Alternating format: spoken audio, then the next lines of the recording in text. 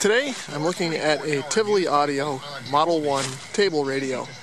And as you can see, I don't really have it on a table right now. I've got it on an old stump and uh, an uprighted plastic tray just to keep the moisture from the stump from getting into the radio. Um, but I've got this thing outside because uh, I wanted to use it uh, out here. I like to uh, have a radio on when I'm working in the yard and uh, this one seemed like it might be a good one to try.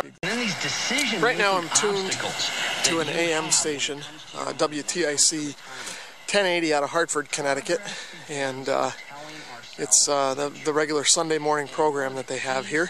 But at any rate, um, you're not going to really be able to hear the full audio quality of this radio through the camera, but uh, it doesn't sound bad.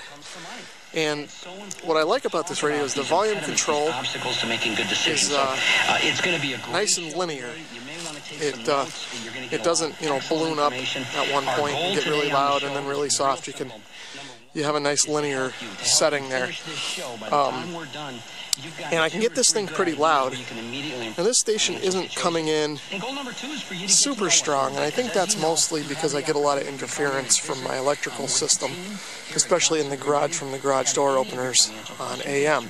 But it gets loud enough to kind of fill this whole area of my yard uh, with sound. You know, I can hear it pretty much up here on the hill. If I start to go down the hill at the end of the driveway, then I can't hear it too much. But but uh, generally, I'm uh, working over here in the side or or in the back there, and this is kind of a good location to to have a radio up here. And this one seems to project fairly well. So I'll tune around a little bit and just see what's coming in. And again, I think my wiring here is kind of desensitizing things. If I put this on a battery, it probably would work better.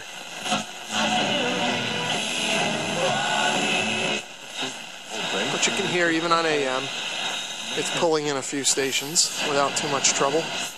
So I've got my my choice of stations. And of course the tuning on this is very nice and smooth and accurate. You can really dial in a station um, with the way that this thing is geared. You can really, you know, tune into a weak station and get this thing centered fairly well. Okay, so I'll switch this thing over to FM. And I'm uh, Louise Skip. I'm just going to use the internal antenna. There are provisions on the back here for an external antenna that you can put 75 ohm wire or whatever you want. Then you just have to flick this switch over to uh, activate the jack. And then of course there's various uh, inputs and outputs. This one is for an external AM antenna. I wonder if uh, if I should try that. I hadn't even thought about that but uh, that might improve my AM reception out here.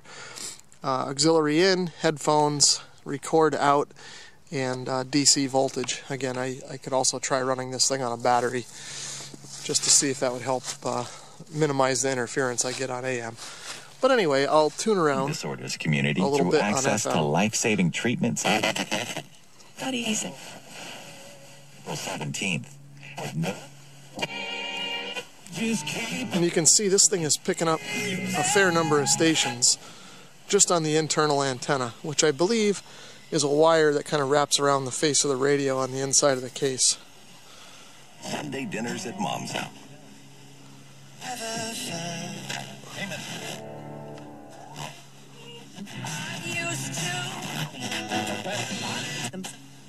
How else do you think? Good morning. Hey guys, how's it going? Uh, I'm having a weird day. Okay, and there's some talk Good. on Well, FM. so, it you know, sounds pretty going forward, good. I'm a little concerned with this team because it I uh, like I think this radio is is more suitable for talk radio. It sounds it sounds pretty good on talk radio. Um, when I tune to some music, it just sounds a little bit too boomy or, or muddy. I'm not sure that the the bass is quite optimized for music, but for talk, this thing is really great, and the sound carries. And generally, I'm listening to talk when I'm out here uh, on the weekends, either sports or or other news or something like that. So this is perfect for for an outside. Okay, so I'm over on the other side of my yard. It's probably a couple hundred feet from the radio, uh, give or take. And you should still be able to hear it. Uh, there's a little bit of wind noise, and then uh, the road noise kind of covers it up over here because I'm you know, fairly close to the road at this point. So when a car comes by, it kind of covers it up. But uh, for the most part, this thing is uh, projecting pretty well, which is, I guess, what I would expect it to do.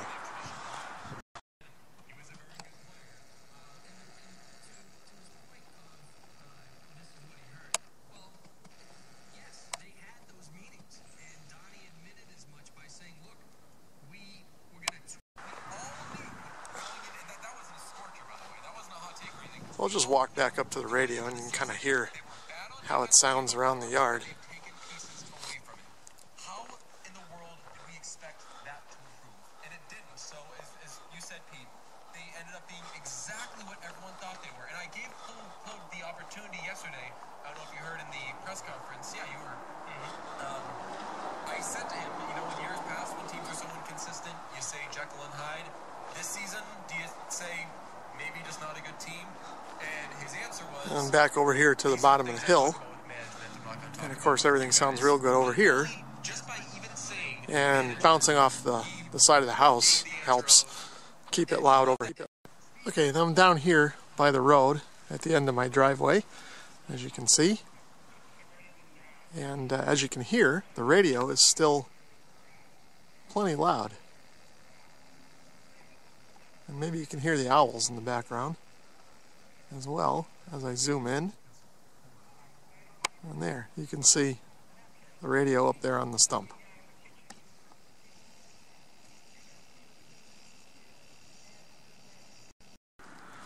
Well, that'll just about do it for this uh, overview of this Tivoli Audio Model 1 uh, radio that I plan to use for my outside weekend project radio.